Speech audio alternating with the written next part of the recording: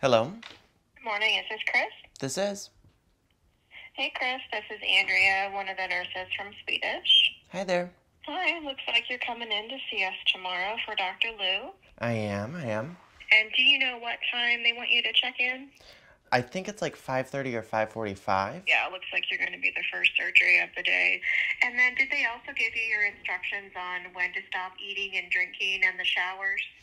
Yeah, so I have like the surgical soap situation that I do like a full body wash of tonight, and then I wash my hair tomorrow, I believe, when I get up, and then I stop eating and drinking at midnight tonight.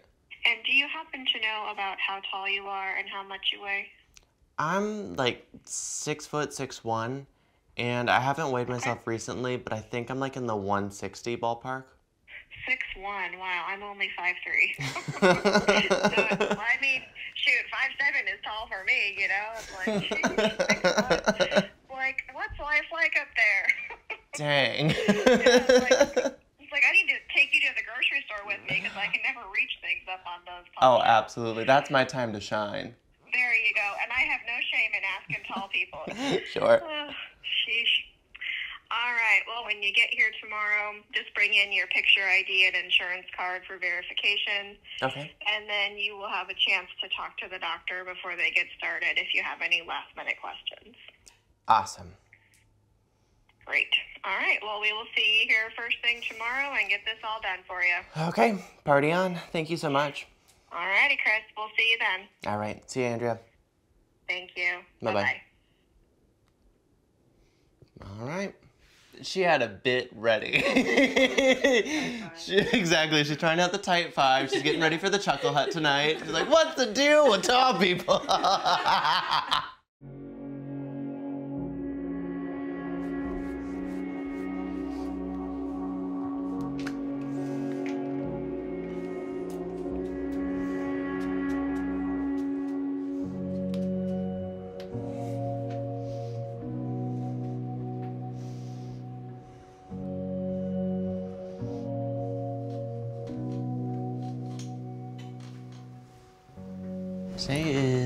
Thursday, January 5th, the day before I get my face ripped off.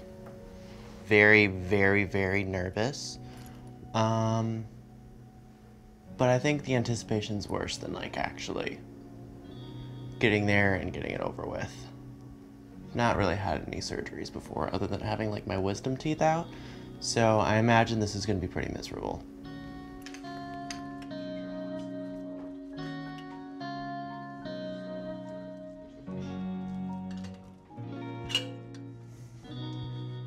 I remember I I couldn't put like words on it, but I really did not like my face for a very long time.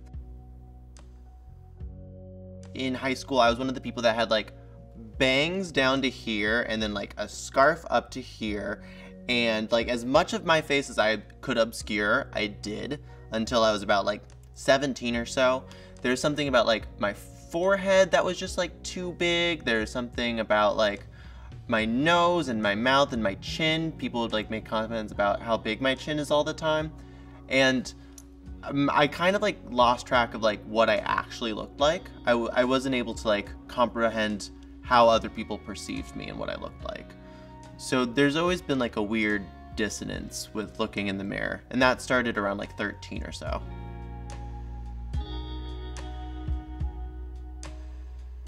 Around 19, I had considered myself very gender fluid. The word non binary wasn't really in Geesh at that point, it wasn't in vogue. So everybody was like gender fluid. I had always had that like weird feeling of like dysphoria and things not matching up. I'm like, oh, I can use drag to channel that, and then that will be enough for that, and that'll be cool. That'll take care of that. I'll make some money. I can like, I love drag separately outside of that. It all comes together at that point.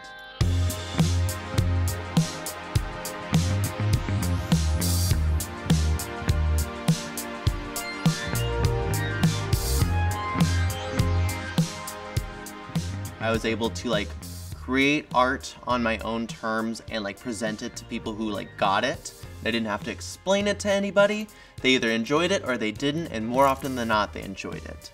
But then there was the part where like wearing the clothes, looking the way that I wanted to look, having people call me she without me having to like explain anything.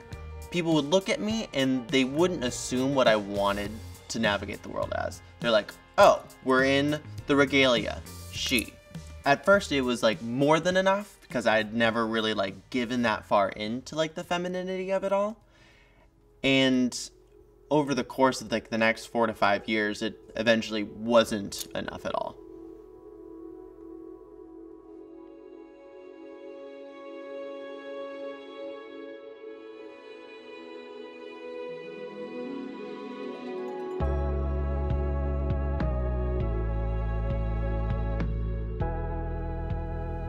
Unfortunately, I don't live my life surrounded nonstop by like my queer friends who know who I am and know how I want to navigate the world and like see me the way that I want to be seen.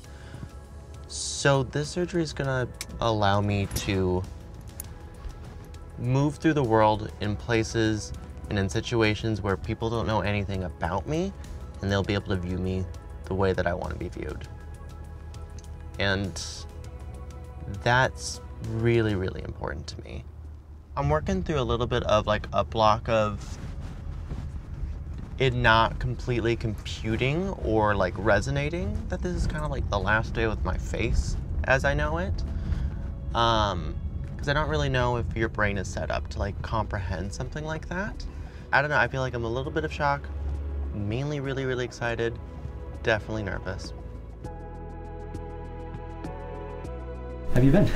I've been good. I've been really, really busy, but I've been good, and I'm glad that this is all working out we got it all situated. Yeah, I see you on Instagram. It's, it's such a cool post. Thank you. Well, Bosco, go ahead and take your mask off for me. Sure. I want to go over the plan with you and then show you kind of the, the bone before and afters of what Okay. we plan, okay? So I want to just take a good look at your face one more time.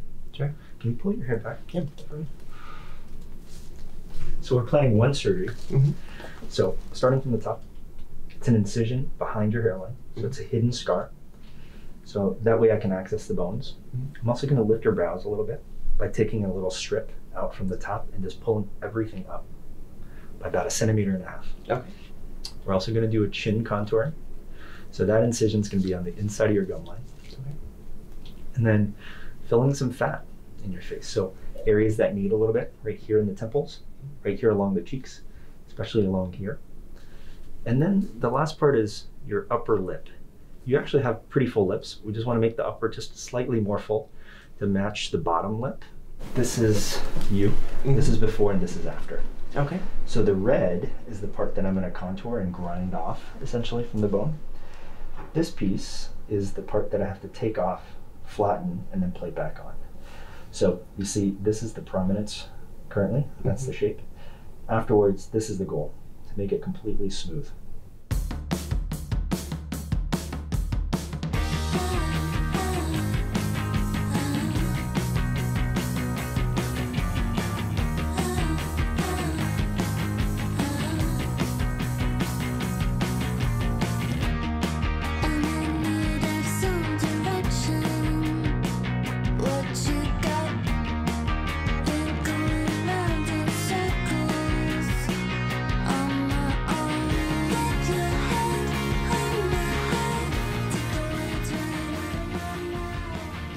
Don't know how we did things before we had the studio space. I'm so excited that we have it now.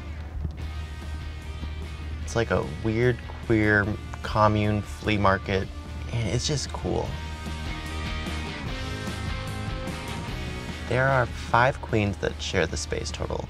There's me and Irene. There's also Jane Don't, Queen Andrew, and Arietti that all use the space as well. Is this your pump up the jams moment? It sure is. I still haven't seen her. There's a slight continuity error in that I start the start the video off with no pants, and then the second half I come down the stairs wearing the pants that I tear away for some reason. Um, but we're just gonna chalk it up to camp. I wouldn't say I have like a drag family. Like Irene is one of my best friends and sisters. Jane's kind of one of the other parts of that friendship and sisterhood. I met Bosco her first night out in drag. It was this party that our friend used to throw that was like a look party, so people would come and like do these kind of club looks. Nobody looked that polished, and then the the there was this one night where she like walked in in this like Sally Bowles like leopard print thing, and she just looked like way more expensive than anybody at that party had ever looked. The incredible thing about being any kind of gender nonconforming, about being transgender, is that you get to create your own reality and you get to create your own body. You get to like transcend these like limited ideas about gender and, and biology. So I love it. I'm like, give every trans person all the surgeries they want. I think she'll just be a lot happier and a lot lighter and um, also a lot more beautiful, which none of us need. It's terrifying. Like I'm trying very hard to be like bubbly and nice and funny today, but I am my pants.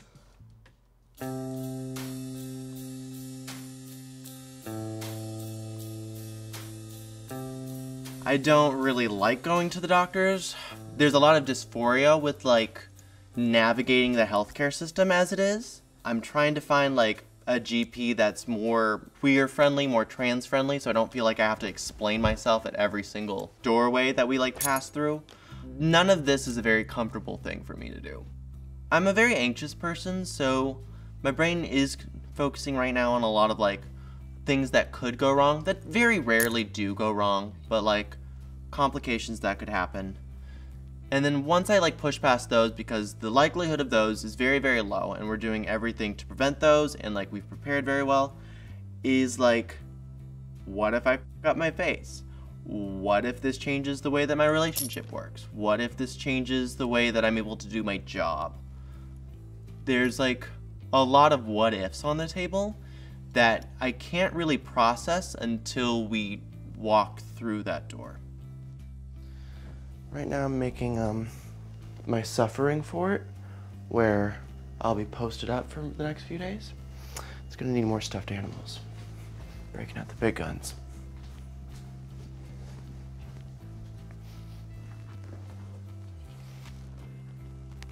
I think talking with the doctors later today is going to help calm me down a little bit, but I mainly feel like it's out of my control. So, and this is what I wanted and worked really, really hard to get. So, like, let's just do it. Let's just do it. My phone, my glasses case, charger. Is there anything else that you can think of that I need to bring? No. Okay.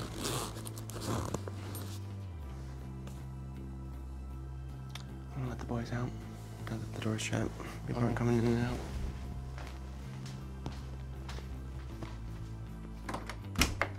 It was right after Pride 2019 is when I met her. I just watched her at a couple of shows and I was like, oh, this person looks interesting. So then I got really drunk one night and don't do this, but I went up to her at the bar and threw my arm around her. I was like, do you want to go to lunch sometime? it kind of started off right at right at our first date. I'm not the kind of person to be like, what are your pronouns or whatever. But when she walked up and I was like, this person's not what I expected, I was like, I should probably ask. it led into more conversations that, yeah, she wasn't comfortable identifying as male. Our relationship has had probably the most interesting roller coaster you can imagine. In 2019, her mom unfortunately passed away, and then COVID hit, and then she lost her job, livelihood, everything and I was in college at that time, so it was rough that anyways. And then national TV fame, and then now transition stuff. um, we've been put through the ringer, but we've always done really well to have open communication and that kind of stuff. But overall, I think healthy is a good word for it. I'm gonna dry my hair to get the last bit of water out, and then I think I'm good.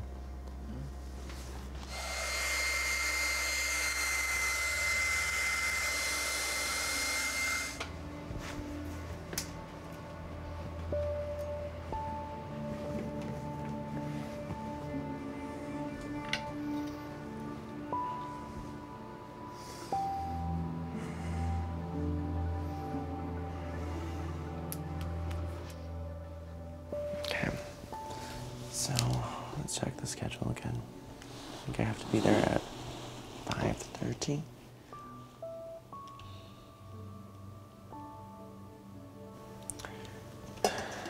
Do you think if we leave at like 5.15, that'll give us enough time to get there, park, and get in by like 5.30, 5.35ish?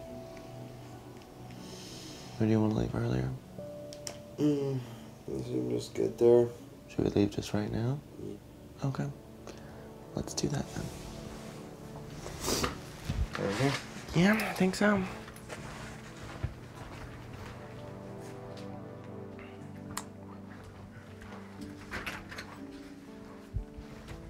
It feels like the best time to do it. Um, I'm not comfortable with aging as a man. So there's there's like really hard changes that you have to make if you want to do that.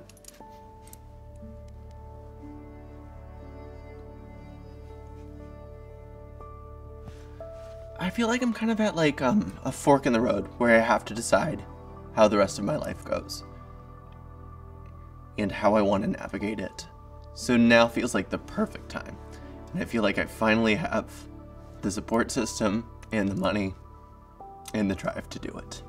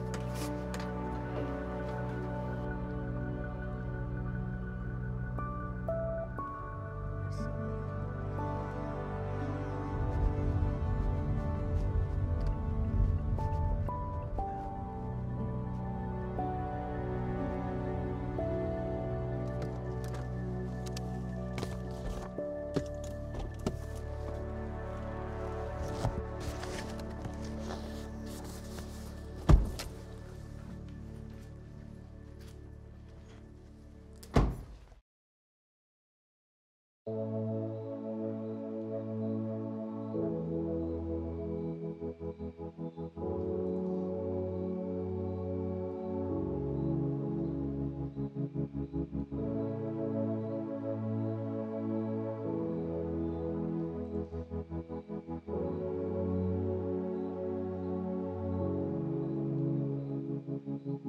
you.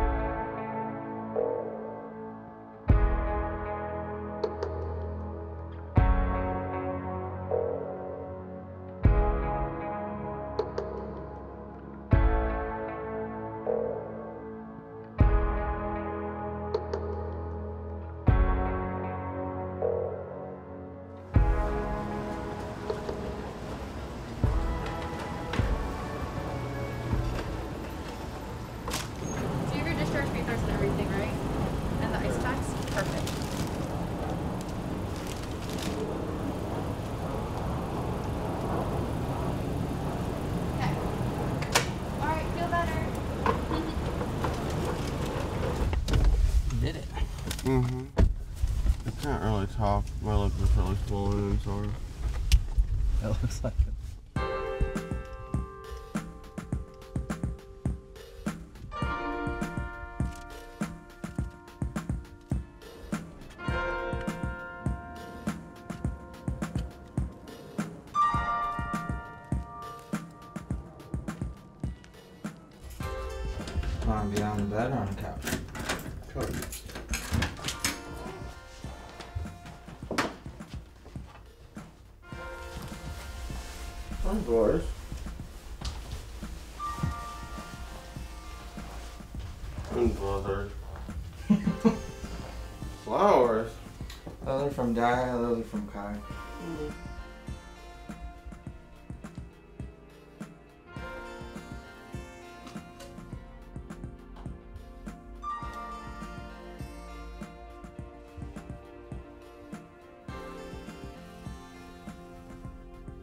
The first, the first thing I was like, well, wow, her forehead's flat already. that's her, what she's been saying to me for years. Is that's her biggest sense of insecurity, and seeing it gone was like, whoa. I feel like I'm serving so severely. If I went back on All Stars right now, RuPaul would have no choice but to crown me tonight. That's how first. A little bit delusional always helps. I was there before this. a lot of the ER nurses, not ER nurses, post-op nurses, referred to me as she without checking my chart. So we're set up already. mm. Hey, Bosco, it's Dr. Lou. Hi, Dr. Lou. Hey, how are you feeling? Like I got run over by a car and then beat up. Yeah. Yeah,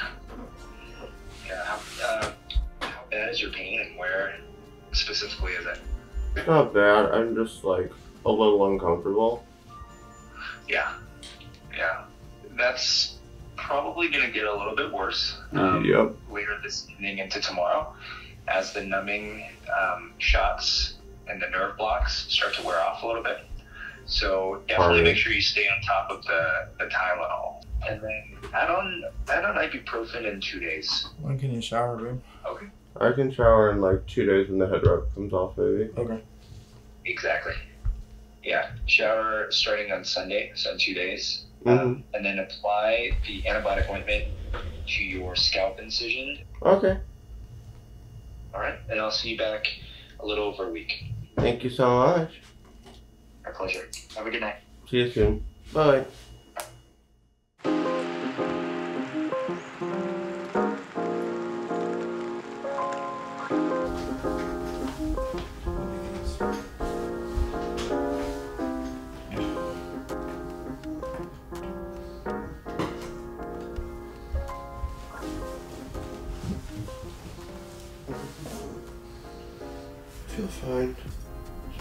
It's more uncomfortable than anything. Oh, we're swollen in yesterday, to be expected. Mm-hmm.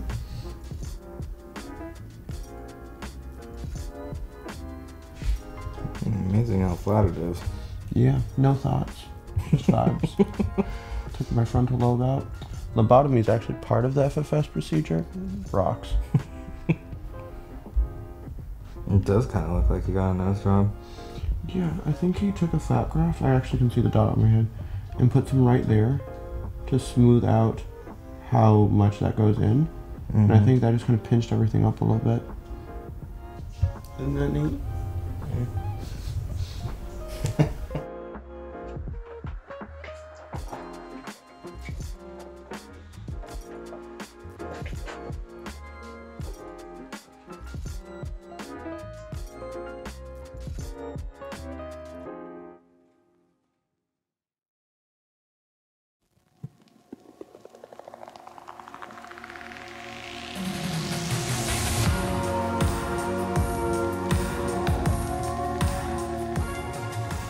it's been about six weeks since we last spoke. My face has gone from looking like a pumpkin with eyelashes left out in the rain. And we're in a pretty cute spot right now. We're still definitely like healing. There's a lot of swelling throughout my jaw. The fat transfers still need to settle a little bit, but we're kind of vibing. Like honestly, wasn't a whole lot of pain. Um, mainly just uncomfortable and weird. There's certain parts of my face that are still numb. And then like get into this profile though. Like that's insane. That's just gone. It's honestly crazy how different people interact with me outside now. I, I don't know, it's it's really crazy. People are a lot nicer to me in like day-to-day interactions. Just like face value when people like start talking to me, like a lot more smiles, a lot like more polite. If I'm like trying to get like luggage or something, somebody will come and like help me. Like just like weird little like social cues have completely switched that I wasn't even like plugged into before. It's just an immediate like no guessing or like kind of like flirting around like not understanding or not knowing or not being sure. It's like almost like an immediate she. And that's neato.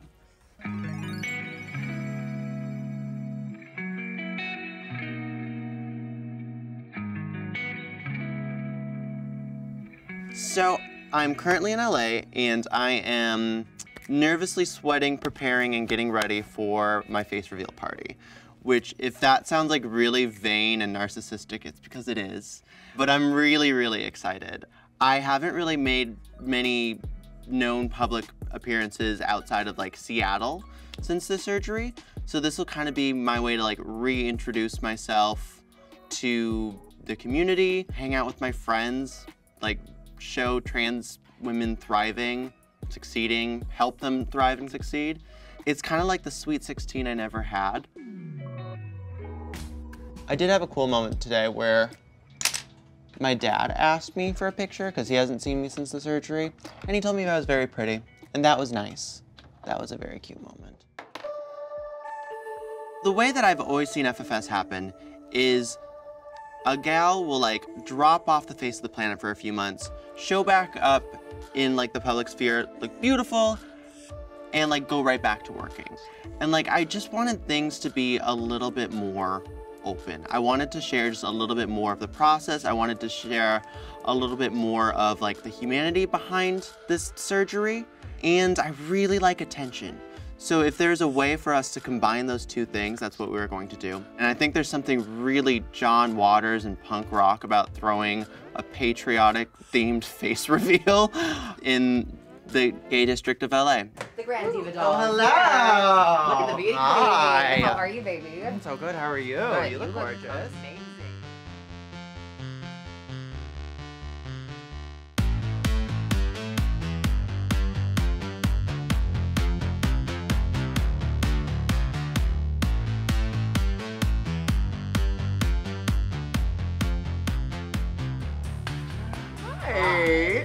And they're unrecognizable.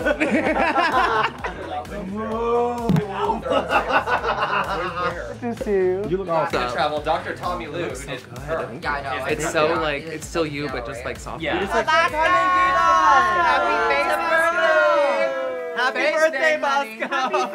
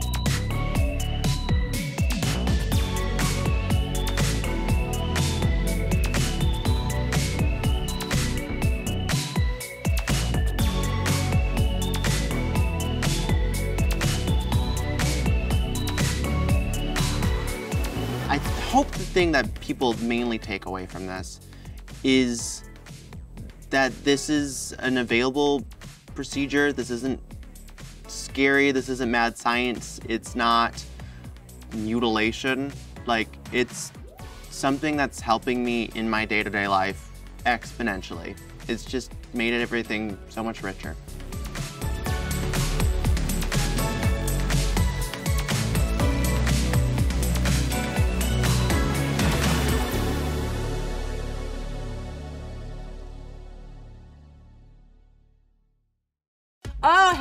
Everybody, it's Michelle Visage. Do you want Emmy nominated gay?